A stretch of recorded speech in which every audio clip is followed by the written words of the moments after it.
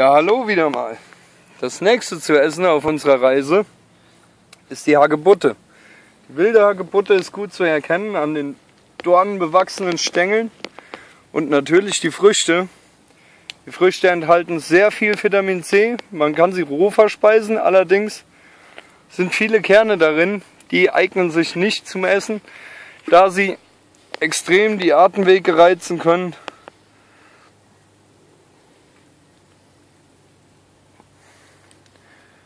und natürlich auch den Hals. Ihr seht die Kerne, die sind sehr stark bewachsen mit Haaren.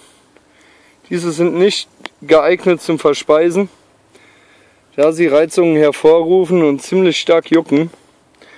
Bei kleinen Kindern werden diese auch Juckpulver genannt. Oh, die Hälfte ist runtergefallen. Nicht so schlimm, ich demonstriere es an der anderen Hälfte. Man popel die Kerne einfach heraus.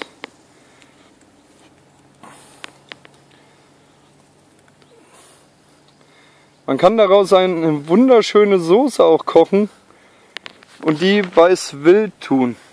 Bei einem Wildbraten eine Hackebuttensoße ist wunderbar. Wie gesagt, enthält sehr viel Vitamin C. Optimale Sache. Noch ein bisschen sauber putzen ist natürlich alles mit Arbeit verbunden. Aber so ist das beim Überleben. So, so viel zur Hagebutte. Die Hagebutte schmeckt ein bisschen säuerlich, ein bisschen apfelähnlich, wenn sie noch nicht ganz so batschig ist. So in diesem Zustand, schön hart. Ich beiß mal nur ein bisschen in die Schale, wie gesagt, bei den Kernen ein bisschen aufpassen.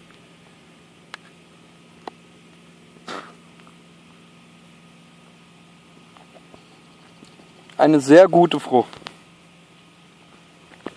So viel zur Hagebutte.